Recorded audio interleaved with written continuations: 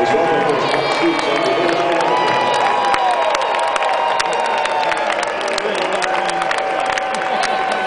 keep going, keep going. Get, take him straight out the stand again. Do it again.